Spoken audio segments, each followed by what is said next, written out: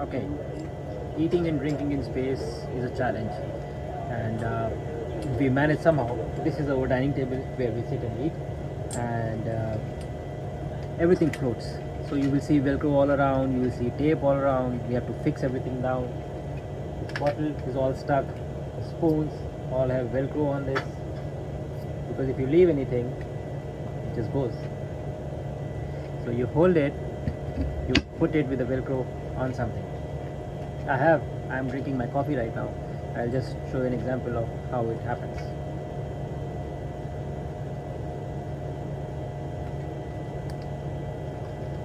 Look at that. You can even eat water in space. it is fun, but you have to be really careful that things go all around and you just have to be mindful about everything. So this is a short clip about food in space.